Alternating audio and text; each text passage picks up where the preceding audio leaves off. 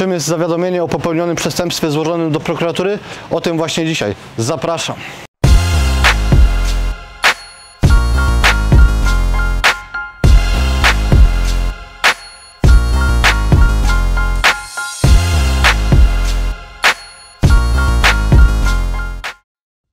Państwa, zawiadomienie o popełnieniu przestępstwa złożone do prokuratury to jest najlepszy dokument, jaki możecie Państwo złożyć, chroniąc głównie siebie, prawda? Czyli generalnie zawsze mówimy o tym, żeby robić coś dobrego dla siebie dla swojej osoby. Dlaczego w ogóle o takim dokumencie mówimy? Dlatego, proszę Państwa, że w ostatnim czasie nagminnie i sporo e, zdarza się ciężkich e, uszczerbków na zdrowiu spowodowanych przez lekarzy, ale także w- trakcie wypadku przy pracy, gdzie wasi pracodawcy, jak już zawsze i często o tym mówiłem, robią wszystko, żebyście Państwo nie udokumentowali swojego ciężkiego wypadku, prawda?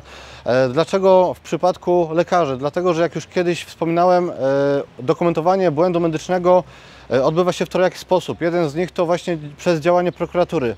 I proszę Państwa, dlaczego to jest ważne? Dlatego, że niestety, ale e, ostatnie zdarzenia związane z pandemią i to, jak teraz funkcjonują szpitale, a raczej jak nie funkcjonują, prawda? Czyli generalnie nie chcą was, was leczyć, nie chcą przeprowadzać planowych operacji. Diagnostyka odbywa się zbyt szybko, jest niedokładna, popełniają lekarze mnóstwo błędów, prawda? To rzutuje na Państwa zdrowie, to ma znaczenie potem, jak jesteście leczeni, albo właśnie nie jesteście leczeni, a powinniście, prawda?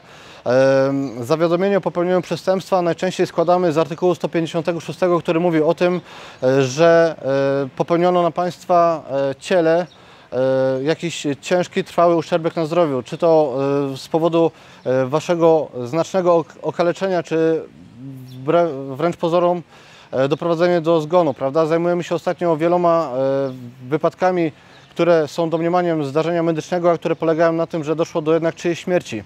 Proszę Państwa, prokuratura to jest taki urząd, który jest wyżej nad policją i to jest zawsze urząd, który ma za zadanie Wam pomóc. Dlatego tak często, jeżeli już złożymy zawiadomienie do prokuratury, to w kilka dni odzywa się do Was pracownik prokuratury, który e, zaprasza Was na złożenie zeznań. Jak złożycie zeznania, proszę Państwa, zawsze Was instruujemy, co powinniście mówić, jak się zachowywać na takich zeznaniach, ponieważ jest to ważne, prawda? E, Zawsze mówimy krótko i szczegółowo, żeby prokurator miał zarysowany obraz e, ewentualnego tego przestępstwa, o którym mówimy. E, Dlaczego to jest ważne? Dlatego, że prokurator chce jak najszybciej wdrożyć, proszę Państwa, działanie. Te działanie polega na tym, że kieruje siebie e, indywidualnie, swoje kroki do placówki medycznej w celu zabezpieczenia Waszej oryginalnej dokumentacji medycznej.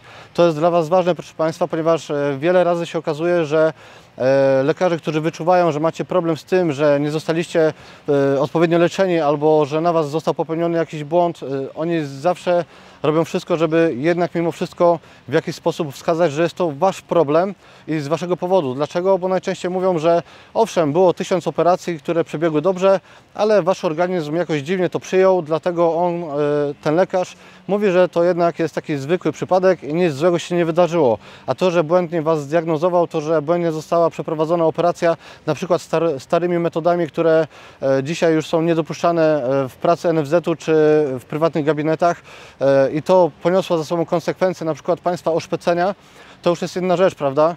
E, I teraz e, co dalej? Ten prokurator, proszę Państwa, który Was wysłucha, przyjmie Wasze zawiadomienie o pełni- popełnionym przestępstwie, e, on zgromadzi pewną kwestię dowodową, ale on nie może powiedzieć, czy tak, jest to błąd medyczny, czy nie, dlatego on skieruje Wasze zapytanie do biegłych sądowych. Biegli sądowi mają najczęściej zadawane mnóstwo pytań, żeby wyczerpać temat, czy na Was zostało popełnione zdarzenie, czy nie, czy jest to przestępstwo, czy nie. Jeżeli mówimy o biegłym sądowym, to przypomnę, że zawsze chcemy, żeby taki biegły sądowy wypowiedział się w czterech obszarach.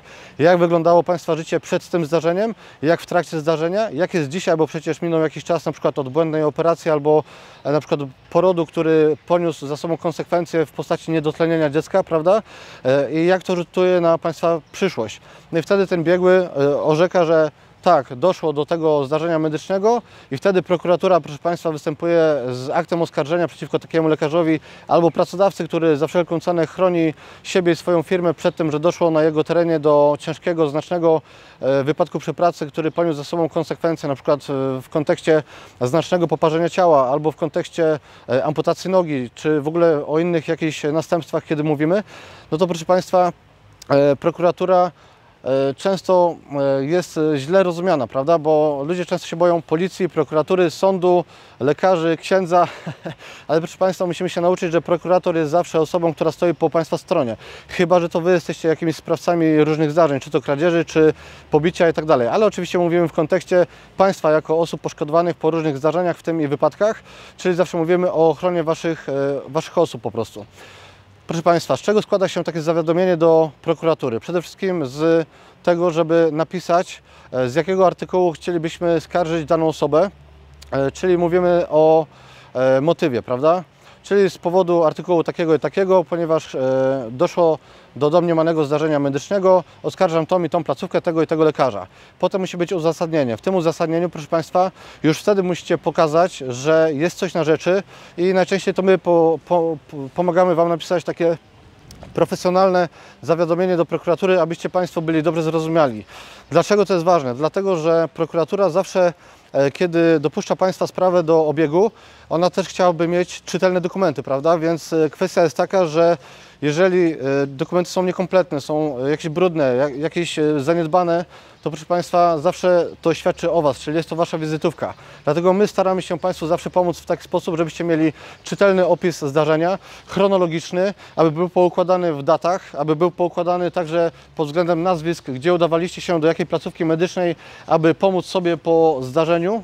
Na przykład jeżeli jest błąd medyczny, operacja została źle przeprowadzona, to najczęściej, proszę Państwa, to nie Wy o tym mówicie, że ona została źle przeprowadzona, tylko się okazuje, że jak poszliście do innego lekarza, to on dopiero zaczyna Wam naświetlać sytuację, że to wszystko zostało wykonane w nienależyty sposób. I on dopiero Wam tłumaczy często, jak to powinno wyglądać. I dopiero najczęściej wtedy nasi poszkodowani e, uzyskują świadomość, że jest coś na rzeczy i, i czeka ich naj, najczęściej kolejna reoperacja, która może nie być jedyną reoperacją, ponieważ często jedna źle e, przeprowadzona operacja niesie ze sobą konsekwencje wielu daleko idących, głębokich operacji. Ok, proszę Państwa, wyczerpująca wiedza. To tyle na dzisiaj. Jesteśmy oczywiście w kontakcie i zapraszam na kolejny piątek. Pozdrawiam serdecznie.